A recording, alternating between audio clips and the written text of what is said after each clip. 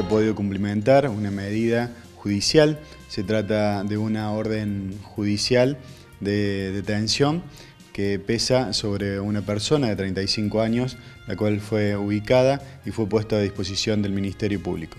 Adrián Narváez, 35 años, y sobre él em, se lo notifica por el supuesto autor, que es un homicidio.